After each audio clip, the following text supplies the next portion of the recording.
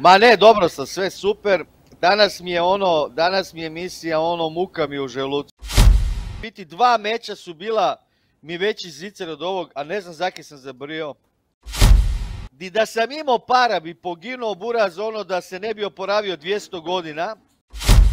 Uh, Goran Babić Hambi na vrhu stariji odvojio si se.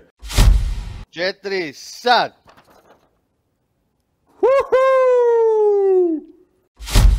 Nismo vidjeli Fedora dvije godine i to je razlog zbog kojeg sam roko večeras, odnosno danas na Timotija Johnsona. Ajmo krenuti sa Pejićem na KSV. Svaka čast pazi što je tako bez problema uzeo puno težeg protivnika. Ante Delija iduća srijeda. Ekipa pozdrav iz sunčanog Majamija, ovdje Ivan Erslan.